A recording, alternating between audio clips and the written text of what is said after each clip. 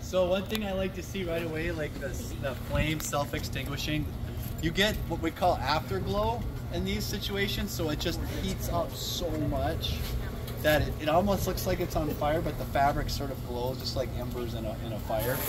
But um, yeah, so that's good. We saw it kind of snuff out really quick like that. That's what we look for.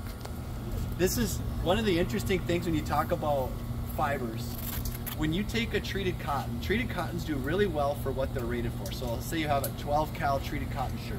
It does really good up to 12 cal. But when you start to push them past what they're rated for, they have like this point where they start to do really bad.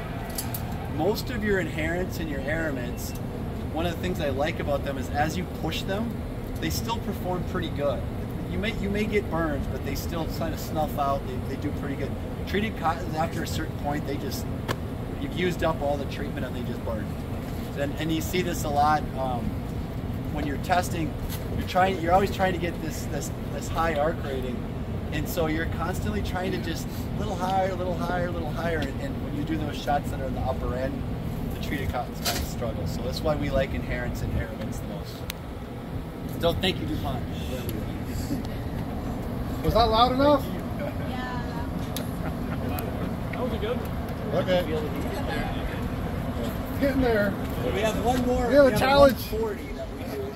We did bring And- 140 and, cal um, suit though. Believe it or not, we, we can't get a burn on it. The lab's not capable of getting high enough to get a burn. So we tested all the way up to 170 cal. We don't rate it at 170 cal, but we feel real comfortable at 140. So that's kind of why we put it we put it there. So we do um, we kind of have to go off the reservation from a, a testing standpoint because we don't have a way to get a true ATPV. So we, we just go really really high and we don't get any burns and then we sort of derate it down to that 140 level. Yep. Okay, so that's how we have it. Interesting. Okay.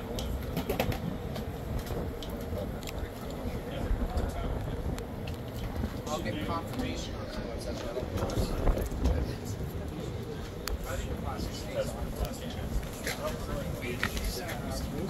Classic stays on for fuel, right?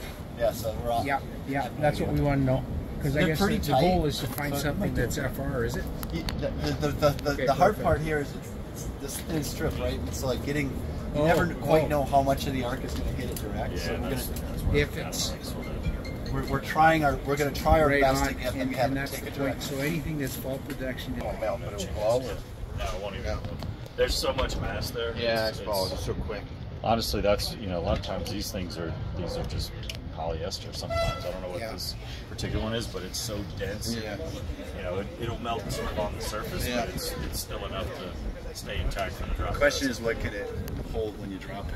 well, right. That's what we're gonna do later. So, Right, so yeah, you do a 40 cal arc on them, and then you go do a drop test. So you got Yeah. a weighted mannequin, a, you know, a standard kind of average human weight Right. mannequin.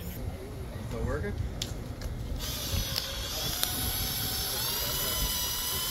Probably got a headache. Oh man, that's yeah.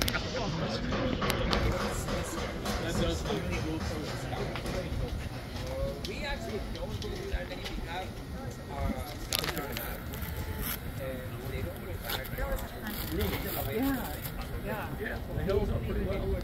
We didn't have a cotton indicator, and this has already seen a lot of arc flashes, but you can look on the inside, and it looks, got a little hot spot right there.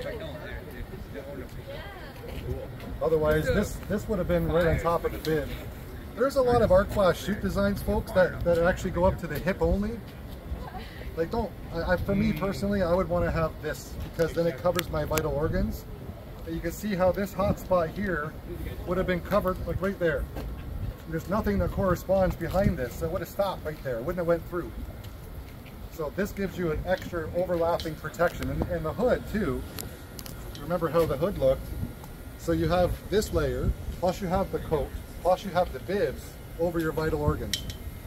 There's potential, potential for flying debris as well and projectiles that could hit you like, like shrapnel from, from a explosion.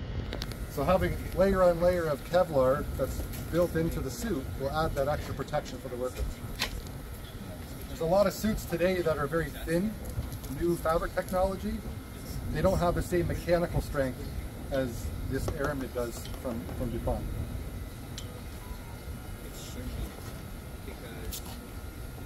One thing to be lightweight, the other thing to you know survive with very little or no injuries. Yeah.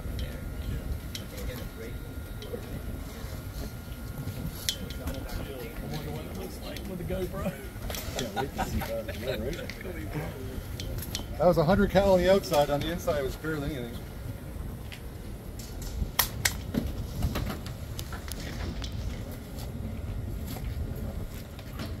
Really did well, bud.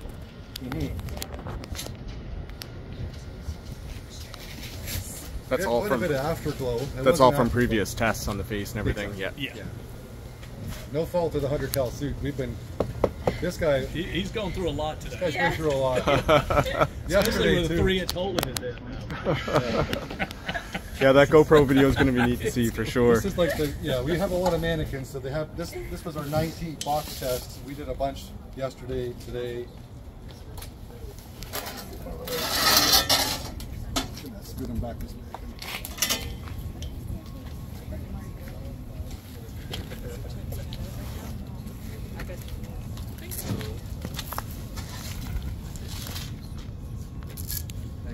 You were saying you were thinking about how to be doing the test.